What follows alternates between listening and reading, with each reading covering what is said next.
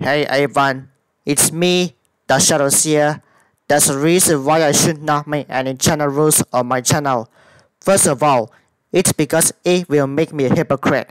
Secondly, they are pointless, useless, and too old as well. And last but not least, that proves I cannot handle my own hate, dislikes, and being unsubscribed.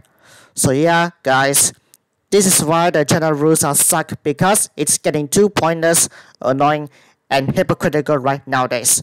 So I hope you can agree with this and understand what I'm saying.